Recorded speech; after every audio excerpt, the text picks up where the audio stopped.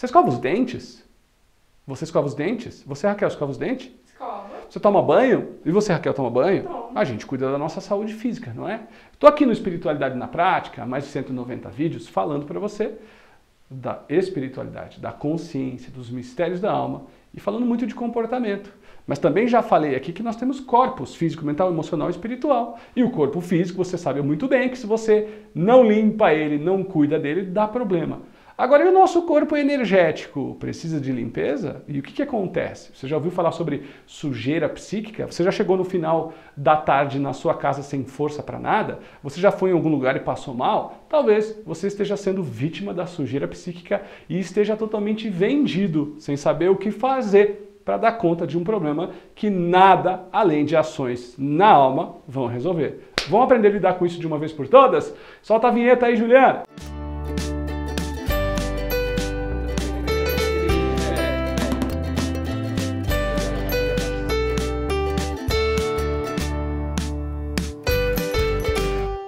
Olá, eu sou Bruno Gimenez, seja muito bem-vindo a mais um Espiritualidade na Prática com os Mistérios da Alma, onde eu aqui, Bruno Gimenez, todos os dias, junto com a equipe Luz da Serra, junto com a Cabrinha Juliana e todo o time, trazemos para você assuntos que ajudem você a se ajudar, encontrar sua missão, realizar seu propósito, enfrentar as dificuldades do dia a dia, viver num outro nível, para ser o que você sempre precisou ser, para ser o que a sua essência pede que você seja, com coragem, com confiança, com harmonia, com respeito, expandindo o sentimento de amor. E eu acredito na continuidade, que em apenas um vídeo eu não consigo ajudar você com isso. Por isso estou fazendo vídeos diários nesse projeto de 365 dias. Então é muito importante que para você desfrutar dos benefícios desse projeto, você precisa fazer o quê? Se inscrever no canal. Para isso, você está vendo o celular, clica numa sinetinha aqui embaixo para garantir que você vai receber notificações. Se você está vendo no computador, clica no solzinho e também na sinetinha para receber notificações. Combinado? E já vai dar uma curtida nesse vídeo aí se você gostou, porque nós estamos juntos nessa e quanto mais você curte, mais os nossos vídeos se propagam pela internet. Feito? O que acontece? Nós somos um ser de quatro corpos, basicamente. Mas Bruno tem o outro corpo. Basicamente, você entendeu? Eu estou dando uma aula num vídeo curto, então eu não posso falar o, o, o geral detalhado, eu tenho que falar um geral geral nós temos quatro corpos. O físico, que você conhece, e aí nós temos o corpo emocional, nós temos o corpo mental e o corpo espiritual. Esses corpos são divididos em camadas. Então o ser humano tem sete camadas, essa é que é a verdade. Mas essas sete camadas você não vê com seus olhos físicos. Essas camadas compõem o que nós chamamos de aura, que do latim quer dizer sopro, que do grego quer dizer psicossoma, o nome que você já deve ter ouvido falar por aí. Por conta da aura, quando você se aproxima de uma pessoa e ela boceja, você boceja também, já viu isso? Por conta da aura, é, é provável que você sinta arrepios.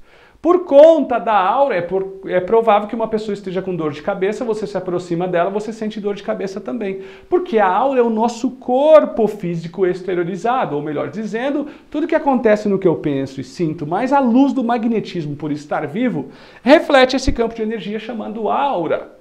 Se esse campo de energia chamado aura hoje, ele pode ser fotografado, ele pode ser medido, ele pode ser quantificado, inclusive dá para a gente saber as cores e as camadas, o tamanho das camadas, o tamanho da expansão áurica. E se você olhar as fotos dos santos católicos, você vai ver uma auréola iluminada, dourada, um pouco acima da cabeça, refletindo a ideia de quanto mais evoluído um ser é, mais a sua aura brilha, ok? Mais a sua aura brilha.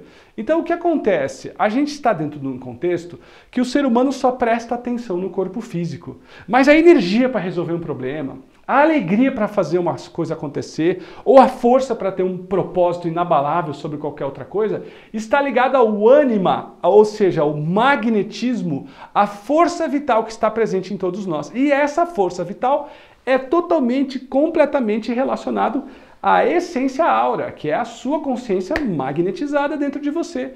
Então, que você tem que resolver problemas, você pode tratar o seu corpo, colocar cafeína para dentro, substância de incubiloba, outras drogas fortes aí que as pessoas dão, na ideia de que isso vá suprir física e mentalmente. E óbvio, obviamente que o nosso cérebro, a nossa fisiologia, a nossa constituição fisiológica precisa de nutrientes, sais minerais, proteínas, enzimas e tudo mais. Mas não é, não são essas substâncias que te dão o magnetismo necessário para enfrentar a vida, para ter força, disposição, chegar em casa, brincar com os filhos, chegar em casa ainda para academia, ou chegar em casa ainda limpar a casa, ou fazer as coisas que todo ser humano normal tem que fazer.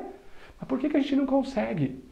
Por que, que a gente se desfaz energeticamente no primeiro problema? Por que, que a gente se desfaz energeticamente quando alguém te conta uma dificuldade ou quando acontece uma notícia ruim? Por que, que muitas vezes um dia de trabalho é, é confuso, é puxado, desgasta você? Porque está associado à sua aura. E essa aura é um campo de energia que recebe influência de outros campos de energia que você não pode ver.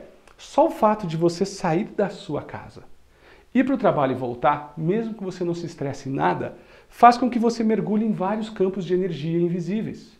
O do carro, do ônibus, do trem, do metrô, da sala de um, da sala de outro, do, do refeitório, do banheiro, da, dos usos em comum que você tem. E aí você vai trocando auras e energias.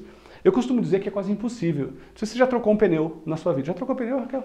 Não. Nunca trocou pneu? É impossível quando o carro para, que você é uma dama, provavelmente seu namorado lá, ele ele troca o pneu, tá certo, tem que trocar pneu mesmo. Então é o seguinte, quando vai trocar um pneu é impossível você não sujar pelo menos as pontas dos dedos com poeira, com sujeira que parece uma graxa, é impossível. Entende? Quando você vai fritar alguma coisa na sua cozinha, é impossível não ficar com um pouco de cheiro de comida. Quando você vai picar alguma coisa na sua tábua lá, que você vai cortar alho, cebola, essas coisas, é impossível não ficar. Tem alguns processos que é impossível você não ficar com resquício. Certo? É impossível, é impossível, é impossível. Você vai andar na chuva, é impossível não se molhar. E a nossa aura é a mesma coisa, é impossível andar por aí pelos ambientes sem se sujar.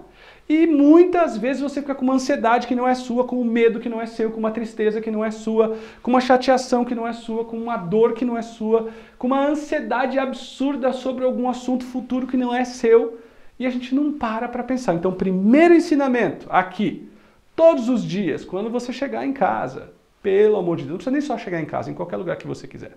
Eu vou ensinar para você alguns exercícios, porque algumas pessoas falam, Bruno, tu fala dicas legais, você podia ensinar alguns exercícios? Vou ensinar aqui uns exercícios bem legais para você, muito simples, que se baseiam em cura prânica, é, magnetismo e polaridade, várias coisas simples. Mas uma das coisas que eu quero ensinar para você é o seguinte: primeiro, esse exercício que você vai fazer é tão simples, tão simples, tão simples, e você pode fazer duas, três, quatro, cinco vezes por dia, sempre que você se sentir agitado, estressado, preocupado, nervoso, coisas da emoção, da alma, do sentimento. Comece a prestar atenção que a maioria das dores e mal-estar que você tem está associada à alma, pensamento e sentimento. Então, primeira coisa, em qualquer lugar, em qualquer lugar que seja, dois a três minutos você faz isso. Feche os olhos, respire profundamente umas 20 vezes. 20 vezes não é força de expressão e profundamente não é força de expressão. E quando eu digo respirar, inspira num tempo, expira no mesmo tempo. Se você inspirar num tempo e expirar no outro, você cria um cansaço e às vezes uma tontura. E quando eu digo inspirar, vou ficar de lado para ver se você pega um pouco, é percebe que o meu tórax muda e as minhas escápulas se expandem. Respirar não é isso. Respira fundo. Isso é, isso é má vontade. Isso é preguiça da vida. Então, inspira e expira desse jeito umas 20 vezes.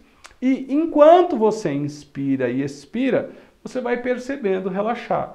E para você não se perder na inspiração e expiração, você faça isso 20 vezes, contando cada respiração. Por exemplo, Eu contei um na minha mente e você vai fazendo isso. Essas 20 respirações vão te demorar em um minuto, um pouco mais de um minuto. Faça isso primeiro. Segundo, você vai imaginar. Mas Bruno, eu não consigo imaginar. Vai acreditar ou vai querer que do alto vem uma luz violeta como um facho, como um vórtice de energia luminosa, como uma fonte divina de luz violeta. E um outro dia eu explico por que, a luz violeta é a energia que transmuta, que purifica, a energia mais adequada. Se você não conseguir enxergar, visualizar, acredita que é e pronto, que serve. A luz violeta entra pelo alto da sua cabeça e ela vai descendo e vai passando por todo o seu corpo nessa velocidade que eu estou simulando, vai até os teus pés, bate e volta. Ou seja, 5 segundos. Você imagina a luz violeta passando por todo o seu corpo, vai vir coisas na cabeça, se deixa para lá, continua violeta, vão vir ideias, pensamentos, não tem pra, problema, deixa para lá. Luz violeta vai até o pé e volta. Uma única vez, bem no seu tempo. Feito isso, a luz violeta foi embora. Imagina, acredite, queira, que vem uma luz branca agora, do mesmo jeito, passa pelo seu corpo, vai até os pés. Volta, vai até em cima. Acabou a luz branca. E por último, uma luz dourada que vem, entra, passa por todo o seu corpo, volta na cabeça. E quando chega na cabeça, ao invés da luz dourada ir embora, você imagina que ela forma uma aura ao seu redor de luz dourada. Uma bolha de luz dourada. Simples assim. Imagine, acredite, queira. Esse é um primeiro exercício que já vai fazer a diferença. Bruno, quando eu posso usar? Qualquer hora, qualquer momento, pode ensinar outras pessoas, incluindo os filhos. Ensina seu filho a fazer esse exercício para ir para a escola. Ensina o seu filho a fazer esse exercício antes de dormir. Não tem contraindicação, faça quantas vezes quiser. E pode ser sim rápido desse jeito, mas precisa das 20 respirações iniciais, em que você oxigena o seu cérebro, expande a sua aura, respirar ajuda a expandir a aura e faz todo sentido. Essa é a primeira dica para você, para limpeza psíquica, como comecei a explicar. E a segunda dica é uma dica que tira desconforto, tira dores de cabeça, tira mal-estar, que é mais específico para a região da cabeça, que eu considero que é onde a gente mais se suja. Lembra que eu falei de sujar a aura? É onde a gente mais se suja. Então você vai esfregar as mãos, friccionar as mãos umas com as outras, certo? Bem simples assim, mas não faz assistindo TV, lá, é, cuidando dos filhos. Não, você tem que parar um pouquinho. E você pode fazer junto com o exercício anterior, separado. Esfrega e uma mão aqui, ó. A mão esquerda aqui ou a mão direita aqui. Em polaridade isso significa. Então, na polaridade é melhor você colocar sua mão direita na nuca e a mão esquerda na testa. Fica aqui por uns 10 a 15 segundos. Vamos fazer de novo aqui, tá vendo? Agora tu vai pegar, esfrega uma mão na outra têmporas, 10 a 15 segundos. O seu pensamento ele tem que estar tá apropriado, você não pode estar tá pensando em outras coisas, tá? Pode pôr musiquinha junto, pode acender incenso junto, pode rezar junto, ok? Legal? Agora a gente vai nos ouvidos, bem simples, bem simples mesmo, mas a sua sintonia é o que importa. Isso aqui é para tirar dor de cabeça, atenção do trabalho, ok? ó, nos, nas orelhas aqui, nos ouvidos. Agora aqui nos olhos, ó. Bem simples, bem simples. Ok? E agora estou guardando para o final aquilo que eu mais gosto. O que, que você vai fazer no final? Você vai passar sua mão aqui na cabeça, olha, e você vai jogar no chão. Só que quando você for jogar no chão, você imagina que você está jogando numa fogueira de luz. Imagina, queira, acredite. Ó, fogueira de luz. Ó, e eu vou como se eu estivesse limpando toda essa parte aqui em cima. Tá dando para pegar a imagem? Só em cima. Aqui. Isso. Essa fogueira de luz você vai jogar é imaginária, tá? Você vai passar várias vezes. Várias vezes. Ó, desse jeito mesmo. Só isso. Imagina essa fogueira queimando essa energia que você tirou aqui. Respira, relaxa. Ok, abre os olhos e eu duvido que você não vá se sentir melhor. Se a gente escova os dentes, se a gente toma banho, se a gente cuida da roupa, se a gente cuida do corpo, por que a gente não cuida da aura? Esse é um dos exercícios, entre vários e vários e vários, que você teria para fazer isso. Essa é a minha contribuição. Cuide da sua energia psíquica, cuide da sua aura. Não adianta você cuidar do corpo, fazer exercício, fazer academia, que é tudo bom, hein? Dormir cedo, acordar cedo, fazer tudo direitinho e não cuidar da sua aura. Não vai adiantar nada. Combinado? Então é isso. Essa é a minha dica para você hoje. Agora, eu falei para você que uma das coisas que eu mais acredito é que o seu potencial interno é o melhor potencial que você tem para abrir é, portas para a transformação de vida que você quer, para a qualidade de vida que você quer. E uma das ferramentas que mais proporciona isso é a meditação.